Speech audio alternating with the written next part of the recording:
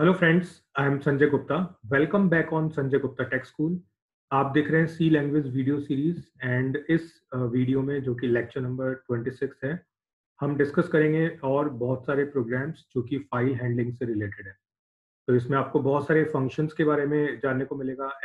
Fscanf fprintf fputs fgets fgetc F U fgetw putw तो जो पिछला वीडियो था, उसमें मैंने आपको फ़ाइल हैंडलिंग के कंसेप्ट के बारे में बताया था और जो भी टूल्स बेसिकली फ़ाइल हैंडलिंग का प्रोग्राम इम्प्लीमेंट करने के लिए रिक्वायर्ड है, वो मैंने डिस्कस किए थे। और मैंने आपको एक एग्जांपल भी बताया था, जिसमें हमने डेटा फ़ाइल में राइट भी किया था और डेटा फ़ाइल से रीड किया था। सो आई होप कि आपको वो वीडियो समझ में आया होगा। और इस लेक्चर नंबर 25 वाले वीडियो को देखने के बाद, जो अभी वीडियो देख रहे हैं आप 20 नंबर लेक्चर नंबर 26 तो इसमें हम ये वाले जो प्रोग्राम्स वो डिस्कस करेंगे। एंड कोई भी डाउट हो सो ये मेरी डिटेल्स हैं, आप मुझसे अपने डाउट्स क्लियर कर सकते हैं। तो अब स्टार्ट करते हैं अपना पहला प्रोग्राम सो फ़र्स्ट प्रोग्राम कहता है read a number from user and another from file and compare them तो अब इसमें दो इनपुट होंगे, एक तो यूज़र से, जो कि कंसोल से आएगा और हमें यहाँ पर एक फ़ाइल ऑलरेडी क्रिएट करनी पड़ेगी, जिसमें की ऑलरेडी एक नंबर अवेलेबल होगा। तो यूज़र जो इनपुट करेगा और जो फ़ाइल से नंबर हम रीड करेंगे, हमें उन दोनों को कंपेयर करना है कि वो इक्वल है या नहीं। तो यूज़र से रीड करने के लिए हम यूज़ करेंगे स्कैनएफ और फ़ाइल से रीड करने के लिए हम यूज़ करेंगे एफ़ स्कैनएफ तो इस प्रोग्राम को इम्प्लीमेंट करते हैं। तो लास्ट वीडियो में मैंने ये सारी चीज़ें आपको बताई थी। तो यहाँ पर read number from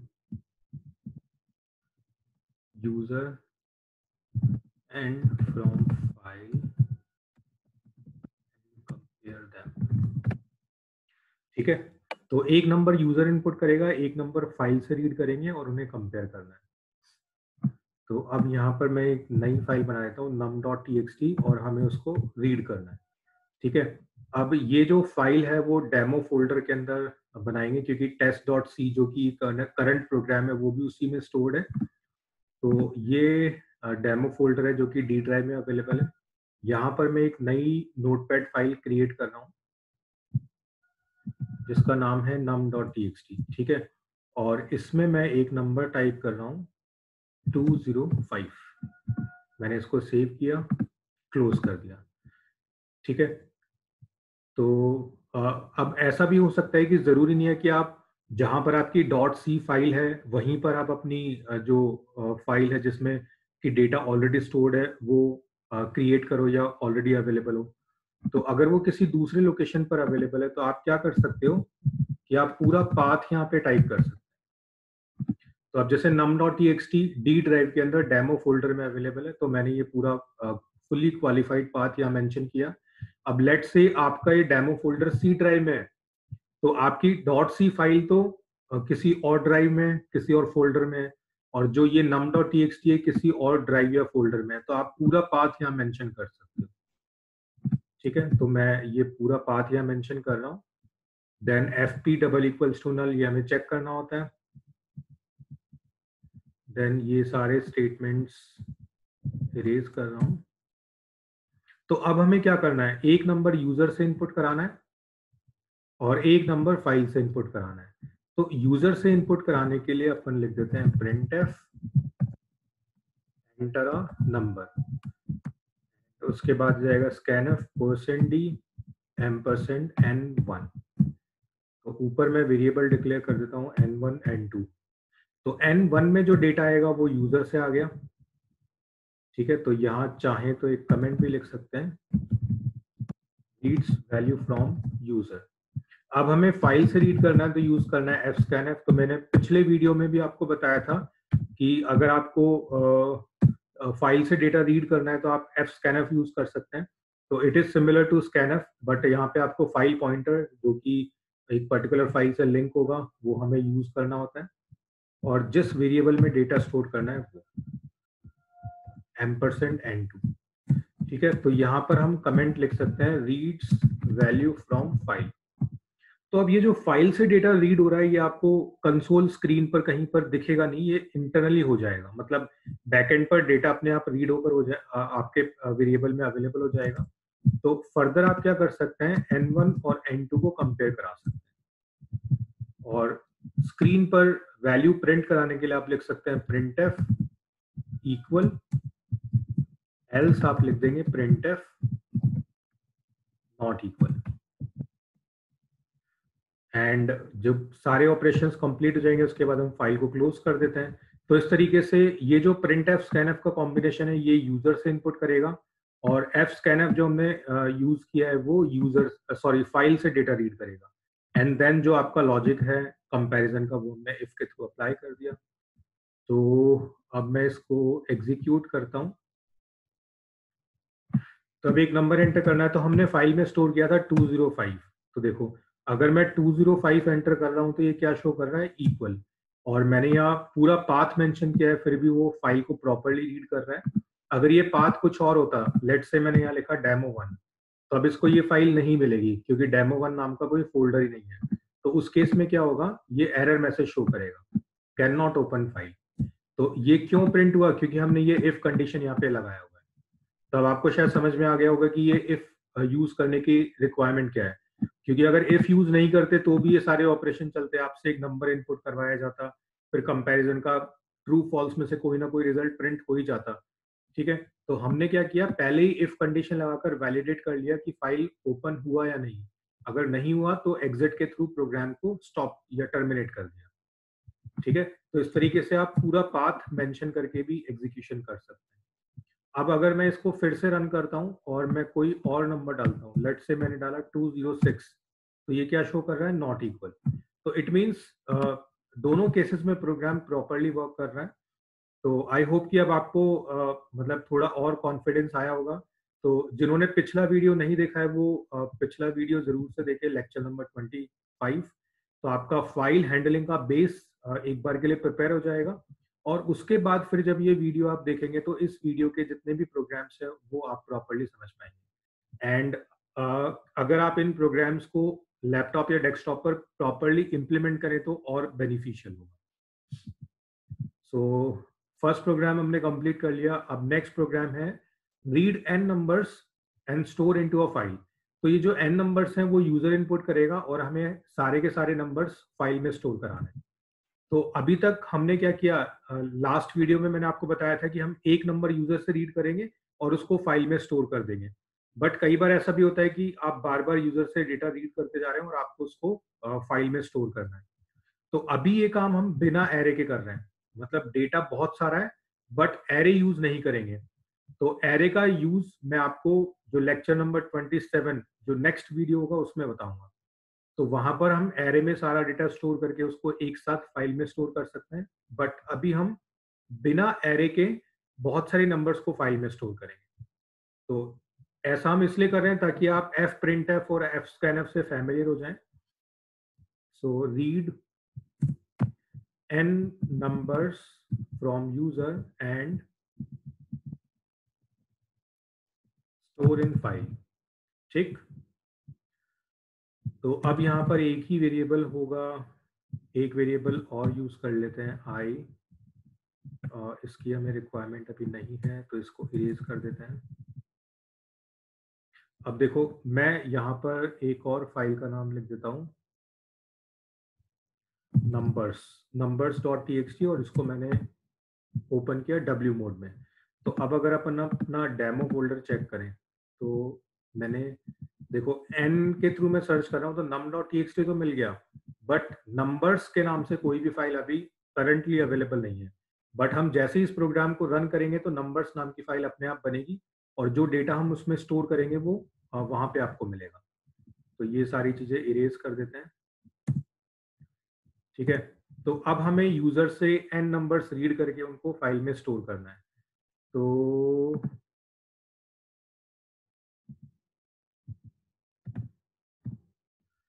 तो अब पहले यूज़र से पूछ लेते हैं।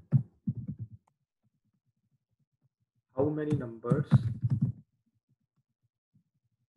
you want to store कि फ़ाइल में आपको कितने नंबर स्टोर कराना है? तो उसके अकॉर्डिंग क्या करेंगे हम? लूप चलाएँगे।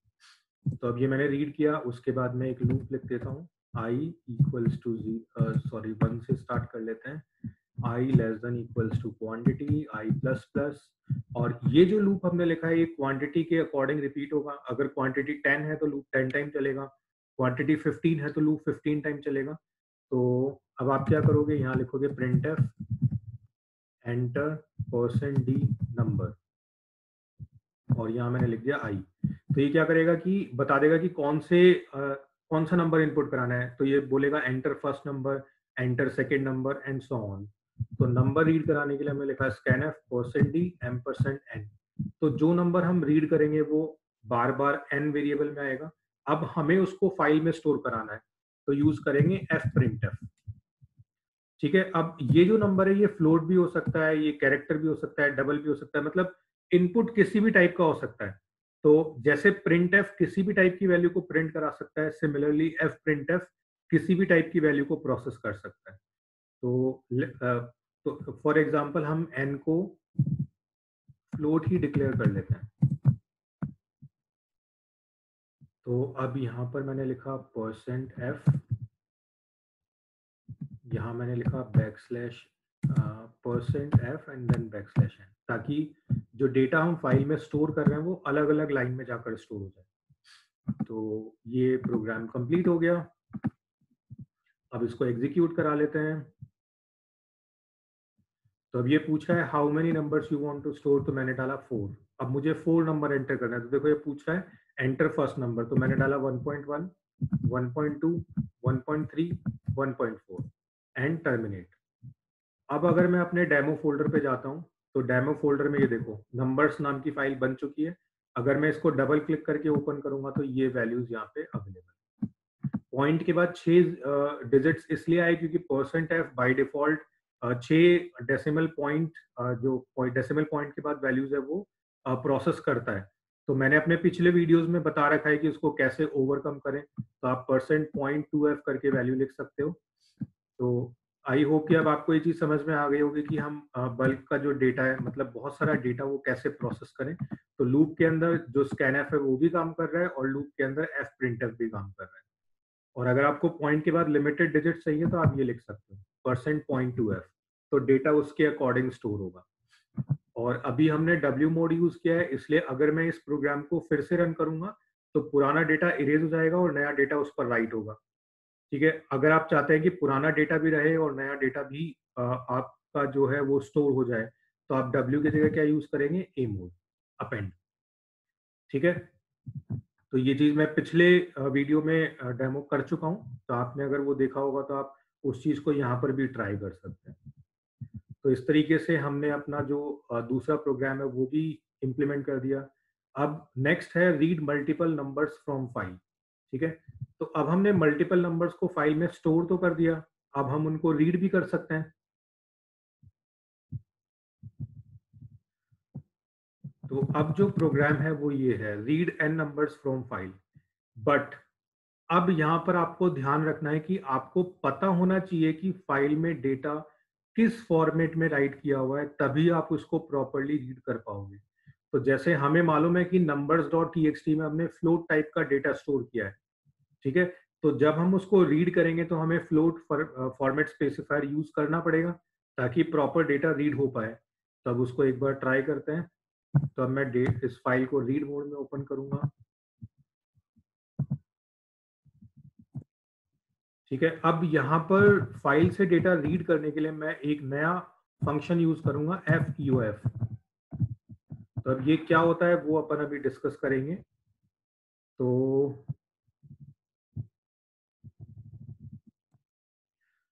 देखो, अब एफ़ ई ओ एफ़ क्या करता है?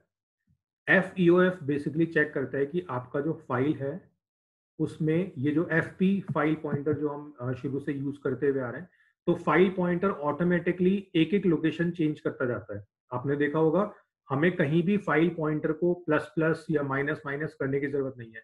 जैसे एक नंबर राइट होगा, वो अगले लोकेशन पे पहुँच जाता है, या एक नंबर रीड होगा तो वो ऑटोमेटिकली अगले लोकेशन पे पहुँच जाता है।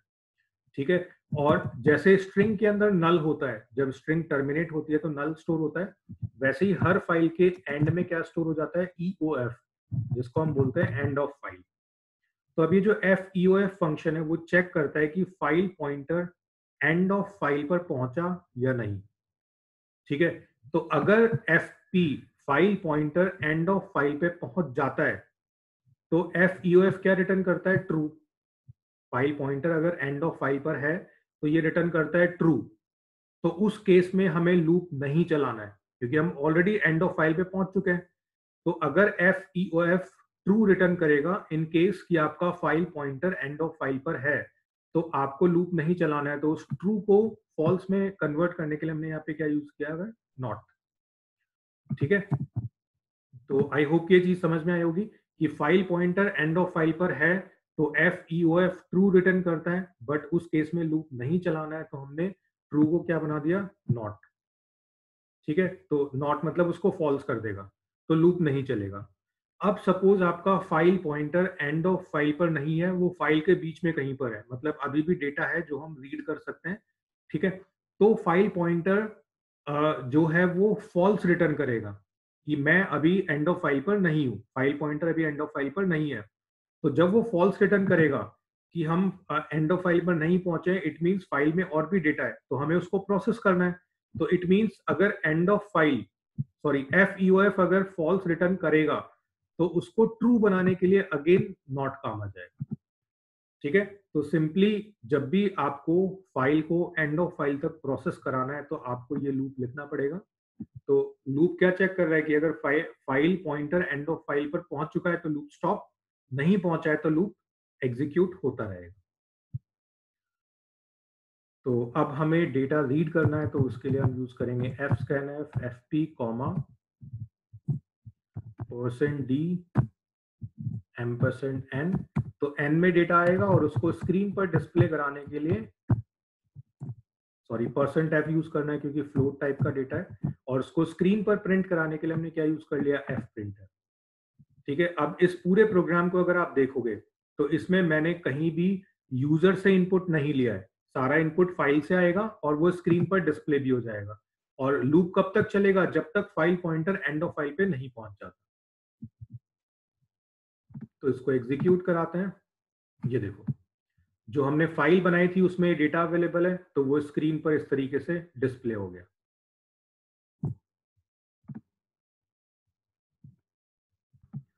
अब इसमें आपने एक चीज़ नोटिस की होगी कि जब हमने इस प्रोग्राम को रन किया तो लास्ट वाली वैल्यू दो बार प्रिंट हुई। ऐसा क्यों हुआ वो देखते हैं।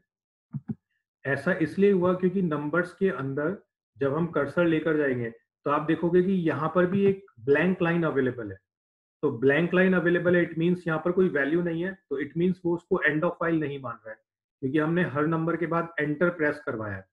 तो वो इसको एंड ऑफ़ फ़ाइल नहीं मान रहा है इट मीन्स जो अपना डेटा है वो मल्टीपल टाइम्स यहाँ पे प्रोसेस हुआ।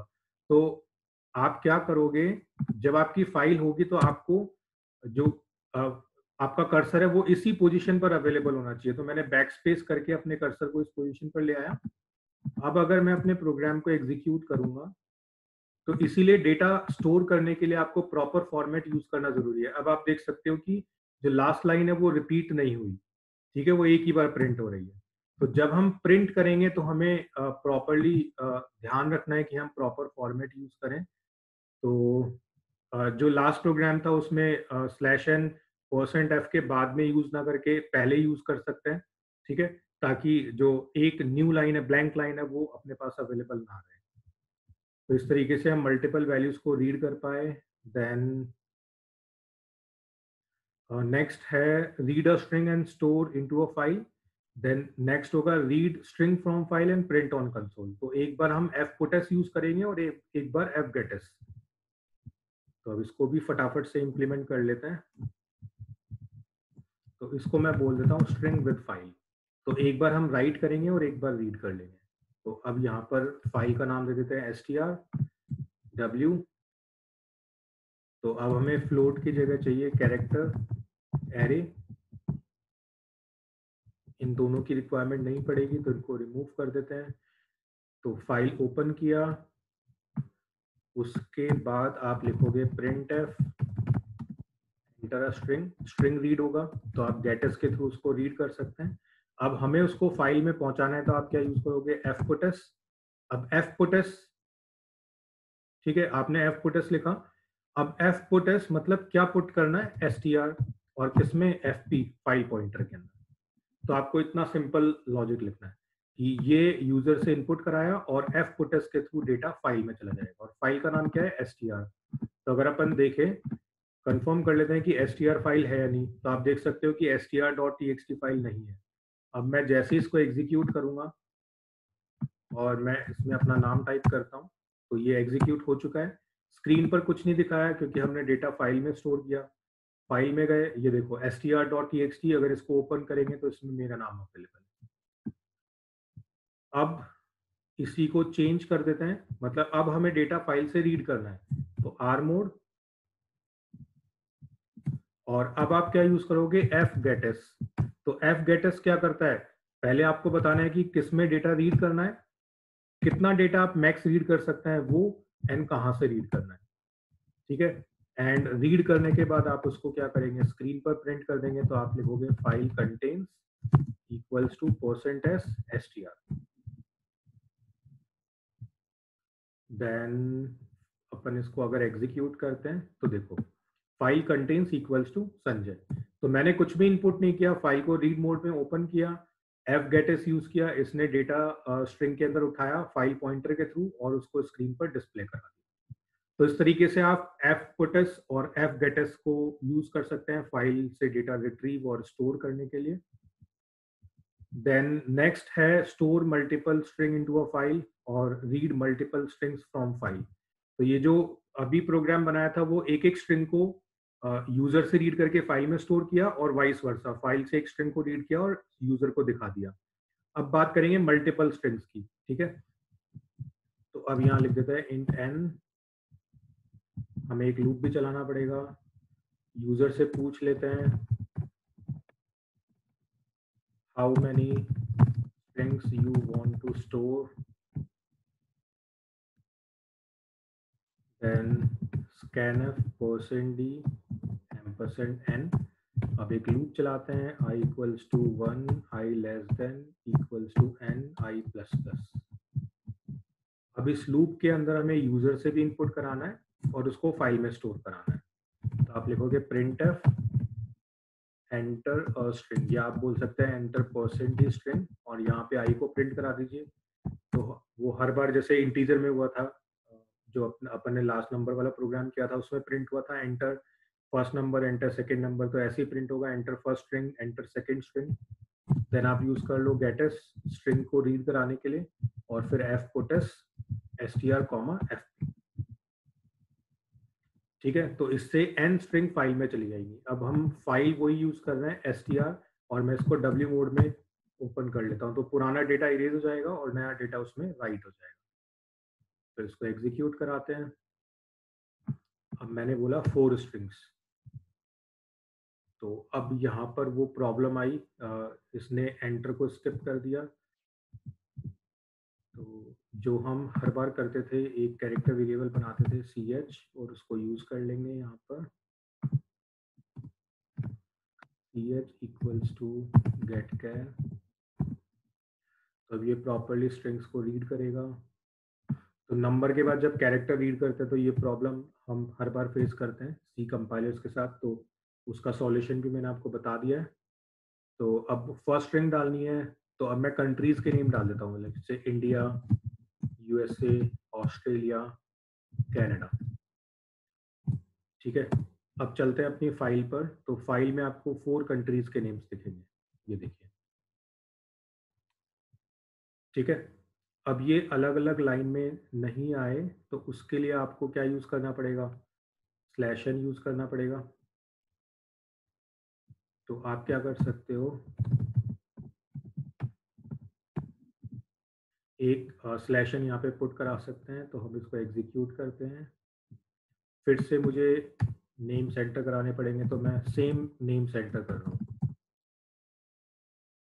सॉरी मैंने एक गड़बड़ कर दी। मैंने प्रिंट एफ़ लिखा, जबकि मुझे एफ़ प्रिंट एफ़ यूज़ करना था। Sorry f print f f p comma back slash n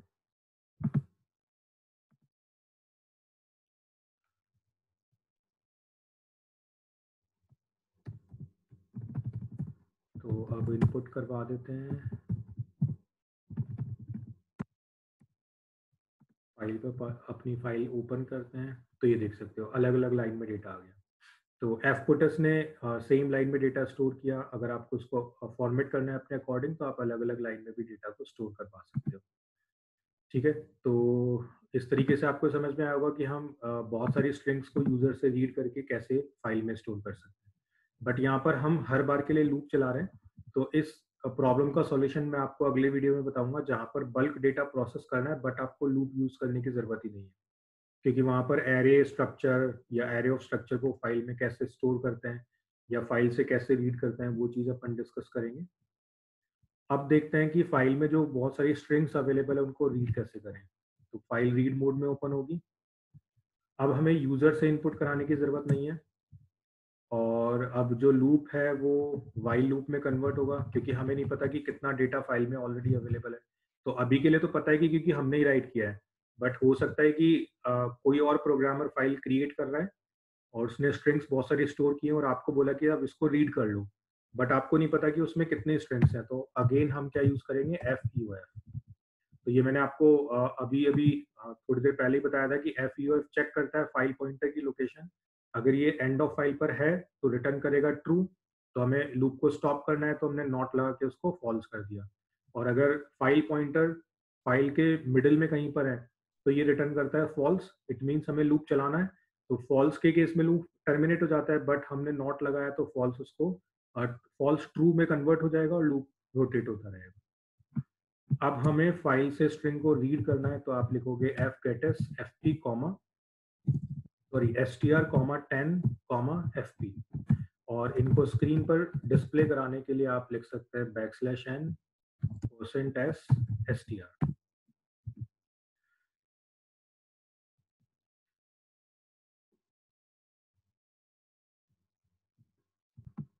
so अब इसको एग्जीक्यूट कराकर देखते हैं। तो एग्जीक्यूट कराएँगे। तो देखो India USA Australia Canada Canada दो बार प्रिंट हो रहा है। तो ये वही प्रॉब्लम है। कि आपकी फ़ाइल जो है, फ़ाइल के अंदर लास्ट में ये देखो, एक ब्लैंक लाइन है तो हमें ये जो ब्लैंक लाइन है, उसको रिमूव करना है, फ़ाइल को सेव करना है और फिर इस प्रोग्राम को जब आप वापस रन करेंगे तो देखो, आपका डेटा रिपीट नहीं होगा। तो स्टोर करते टाइम हमें ध्यान रखना है तो हम लास्ट में बैक स्लैश एन पुट तो करते हैं ताकि न्यू लाइन में डेटा चला जाए तो आप उसको फ़ाइल को ओपन करके रिजॉल्व कर सकते हैं ताकि लास्ट लाइन जो है वो मल्टीपल टाइम्स रिपीट ना हो। सो so, इस तरीके से हमने ये भी डिस्कस किया। अब आगे बढ़ते हैं।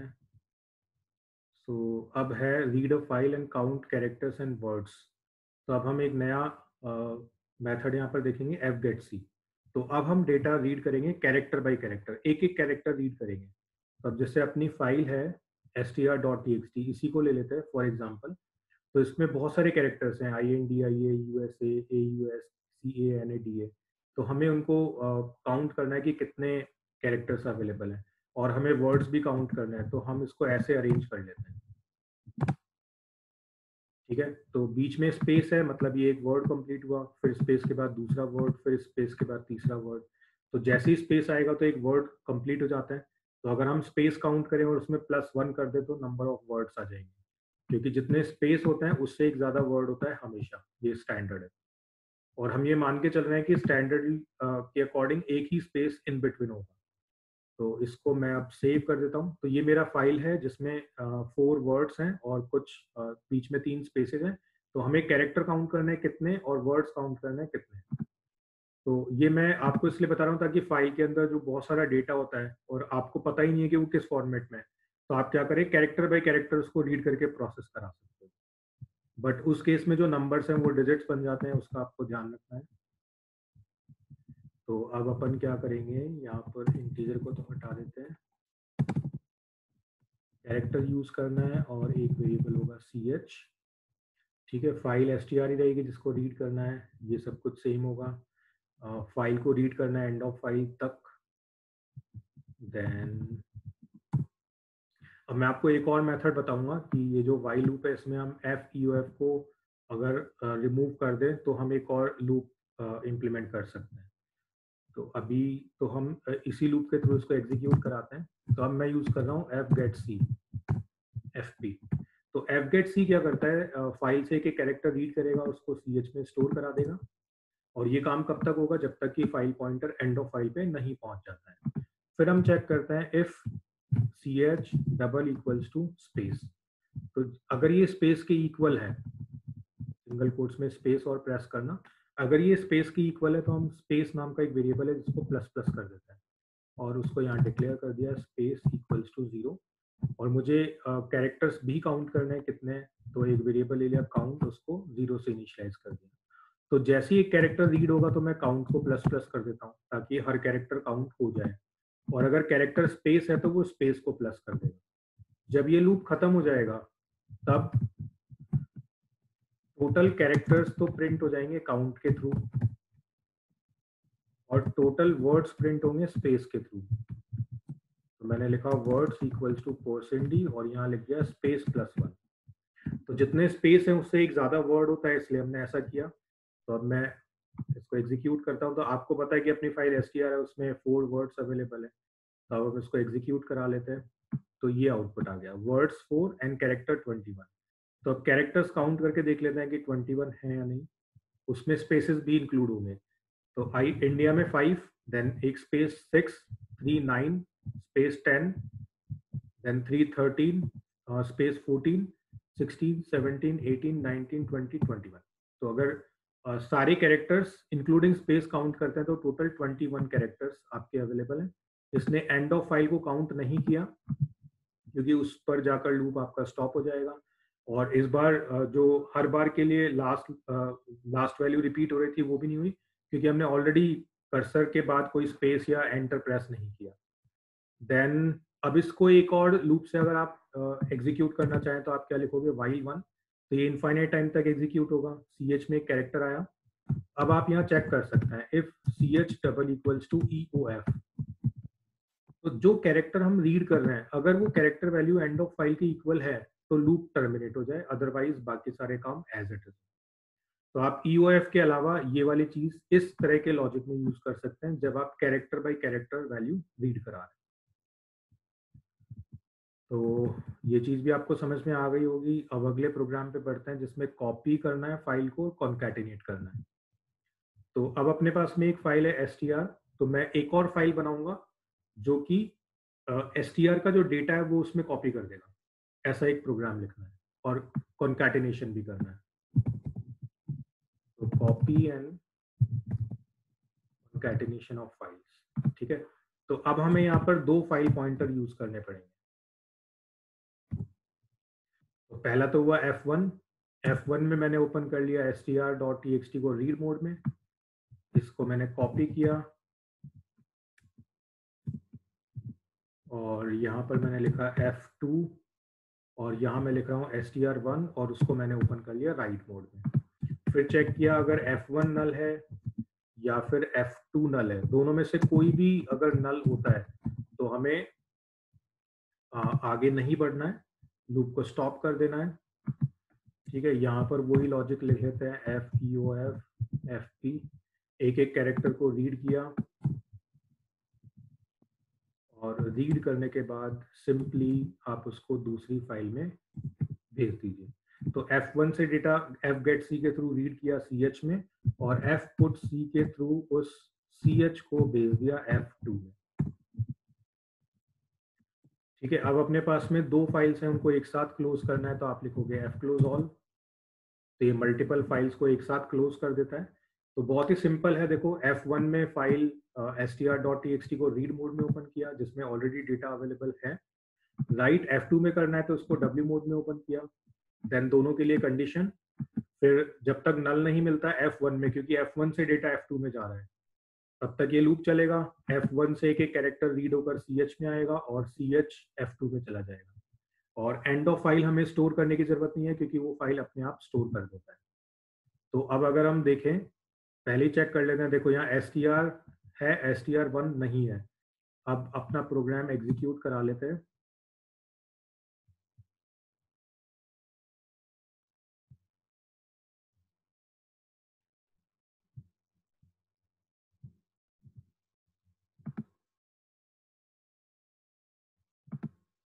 Uh, it is showing some error let me check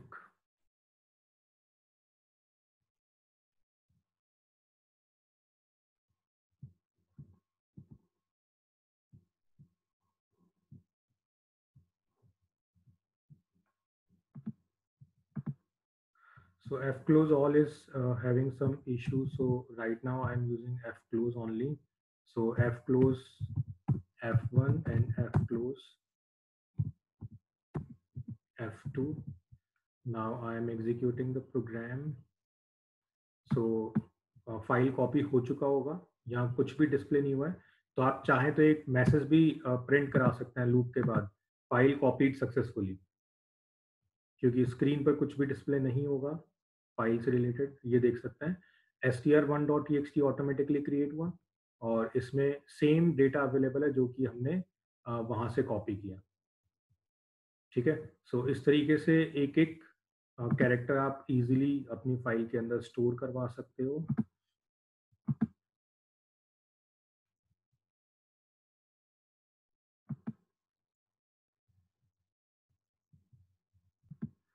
अब एक तरीका और है कि हम ये जो वाइल वन है इसको यूज़ करें और यहाँ पर एक कंडीशन अप्लाई कर दें कि सी एच अगर ई एफ़ के इक्वल है तो लूप टर्मिनेट हो जाए तो ये तरीका भी आप यूज़ कर सकते हो।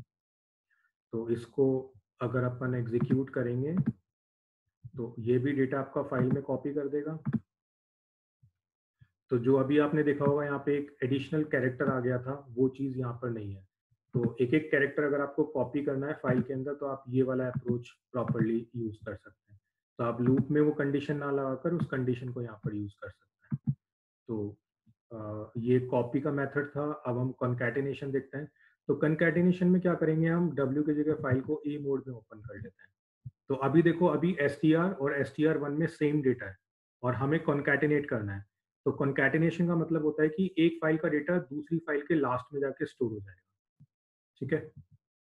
तो अब हमें F1 का डेटा F2 में पहुंचाना है। मतलब एस वन में डेटा कॉन्कैटिनेट होगा। तो आपको सिंपली W की जगह A लिखना है। ये एज इट इज़ रहेगा। लूप एज इट इज़ चलेगा क्योंकि F1 से डेटा रीड करना है और F2 में राइट करना है। और ऑलरेडी हम मोड यूज़ कर चुके हैं ए तो डेटा लास्ट में ही जाके स्टोर होगा। तो अब अगर मैं इसको एग्जीक्यूट करता हूँ, और अपनी फ़ाइल को अगर अपन ओपन करें तो देखो India USA Australia Canada and उसके जस्ट बाद एक और लाइन में वो डेटा अवेलेबल है। तो इस तरीके से आप डब्ल्यू मोड को अगर ए मोड में रिप्लेस कर देंगे तो आपका कॉन्कैटिनेशन का जो प्रोसेस है वो एग्जीक्यूट हो जाएगा। अब लास्ट बात करते हैं get W and put W की। तो get W put W basically numbers को रीड एंड राइट करने का काम करते हैं।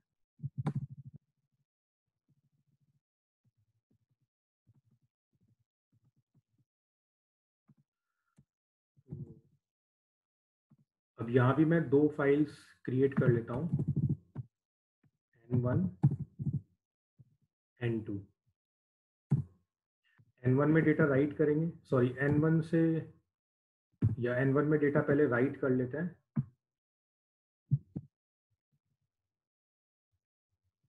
और इसको भी एज इट इज़ ही रहने देते हैं। इसमें भी डेटा राइट करेंगे। ठीक है? तो पहले मैं एन वन में डेटा राइट करूँगा पुट डब्ल्यू के थ्रू फिर उस फ़ाइल को क्लोज करूँगा, उससे डेटा रीड करूँगा और या तो हम इस फ़ाइल में स्टोर कर सकते हैं या फिर उसको स्क्रीन पे भी डिस्प्ले करा सकते हैं। तो अपन ऐसा कर लेते हैं कि एक ही फ़ाइल लेते हैं। इसको भी इरेज कर देते हैं। अपने पास एक ही फ़ाइल अवेलेबल है एन वन डॉट जिसमें पहले डेटा राइट होगा और फिर उसी फ़ाइल से डेटा रीड करके स्क्रीन पर डिस्प्ले करा और दो वेरिएबल ले लेते हैं N one N two and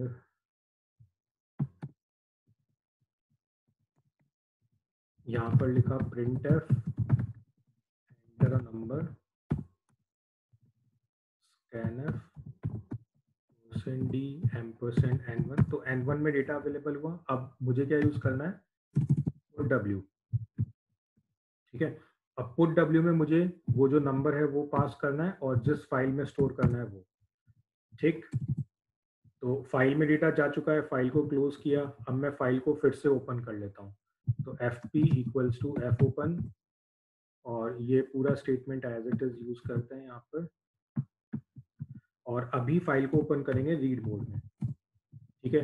अब फ़ाइल डब्ल्यू मोड में है। अगर वो क्रिएट होगी तभी ये प्रोसेस चलेगा। इट मींस फ़ाइल अगर ये इफ़ कंडीशन फॉल्स होती है मतलब फ़ाइल क्रिएट हो चुकी है तो हमें यहाँ वापस से इफ़ कंडीशन लगाने की ज़रूरत नहीं है। बट इन केस फिर भी आप इसको यूज़ करना चाहते हो तो आप यहाँ कॉपी करके पेस्ट कर सकते हैं। और अब हम क्या करेंगे? एन टू के अंदर डेटा रीड कराएँगे। तो N two equals to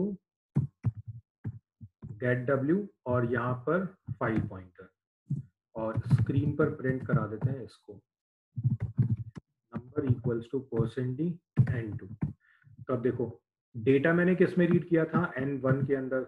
और स्क्रीन पर मैं डेटा किसके थ्रू प्रिंट करा रहा हूँ? एन टू के थ्रू तो इससे प्रूव हो जाएगा कि एन टू में इनिशियली कुछ नहीं था बट एन वन की जो वैल्यू थी वो हमने पहले फ़ाइल में राइट की पुट डब्ल्यू के थ्रू फिर उसी फ़ाइल को रीड किया और वापस जो डेटा है वो रीड करके एन टू में स्टोर करा दिया। तो जो मैं इनपुट करूँगा वो एन टू प्रिंट करना चाहिए अब। तो मैंने इनपुट किया ट्वेंटी टू तो आप देख सकते हो number equals to twenty two ठीक है? तो ये इस तरीके से प्रोसेस हुआ बट अब अगर आप अपनी एन वन फ़ाइल को चेक करोगे तो एन वन फ़ाइल में डेटा रीडेबल फॉर्मेट में अवेलेबल नहीं होगा, क्योंकि ये ऑटोमेटिकली उसको बाइनरी फॉर्म में कन्वर्ट कर लेता है, ठीक है? तो इसीलिए मैंने ऐसा आपको किया कि आपको प्रूफ दे दिया कि फ़ाइल में डेटा स्टोर किया फ़ाइल क्लोज किया फ़ाइल को फिर से रीड किया और किसी दूसरे वेरिएबल में डेटा स्टोर किया गेट डब्ल्यू के थ्रू ताकि आपको श्योरिटी हो जाए कि डेटा फ़ाइल में स्टोर हो चुका है। तो इस तरीके से मैंने आपको ये बहुत सारे प्रोग्राम्स प्रॉपरली डेमो करके बताए। सो एक एक करके आप भी प्रोग्राम्स को इम्प्लीमेंट कर सकते हैं। कहीं भी डाउट हो तो आप मुझसे डिस्कस कर सकते हैं। सो एंड नेक्स्ट वीडियो देखना मत भूलिएगा, जिसमें मैं आपको बल्क में डेटा कैसे प्रोसेस होता है वो बताऊँगा। और ये दो फ़ंक्शन हम देखेंगे एफ़ रीड एफ़ राइट इनका यूज़ देखेंगे बाइनरी फाइल्स के बारे में और पढ़ेंगे। सो आई होप कि जो भी मैंने आपको एक्सप्लेन किया वो समझ में आया होगा। So thank you for watching this video.